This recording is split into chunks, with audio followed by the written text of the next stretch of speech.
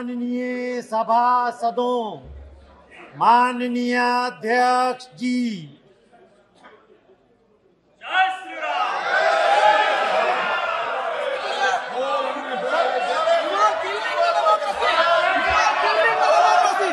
माननीय सदस्य मैं सदन गरिमा से चलाना चाहता हूँ। सदन की कार्रवाई चार बजे तक के लिए स्थगित की जाती है।